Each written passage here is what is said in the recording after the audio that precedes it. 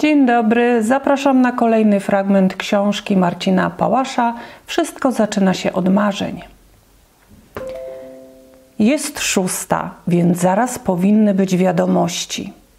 Tomek sięgnął ręką i włączył odbiornik radiowy, który stał na szafce tuż przy łóżku Maćka. Podajemy ostatnie wiadomości, dobiegło z głośnika całym kraju panuje ogromne zamieszanie z powodu tysięcy tortów weselnych, które znienacka spadły z nieba wprost na ulice i dachy w naszych miastach. Wiele osób zostało trafionych tortami i udzielono im pierwszej pomocy. Trwa usuwanie skutków kataklizmu, ale jest to bardzo trudne. Ach, wykrzyknął Tomek i złapał się za głowę. Tylko nie to! Słyszycie? Rzekł ponuro Maciek, ale narobiliśmy zamieszania. Trzeba to jakoś odkręcić.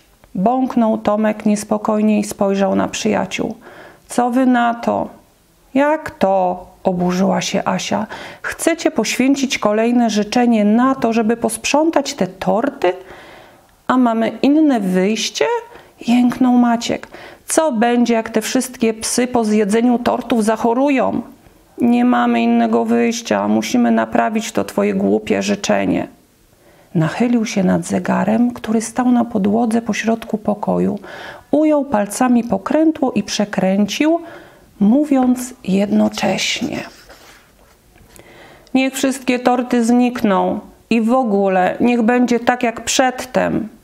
Wstrzymali oddech i w ciszy ponownie usłyszeli znajomy odgłos – zupełnie jakby ktoś uderzył łyżeczką w szklankę. Patrzcie, patrzcie za okno!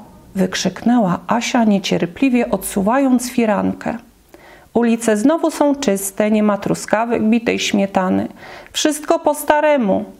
A ja tak chciałam zjeść choć jeszcze jeden kawałek tego tortu. Maciek poderwał się na równe nogi, a Tomek też gramolił się już z podłogi.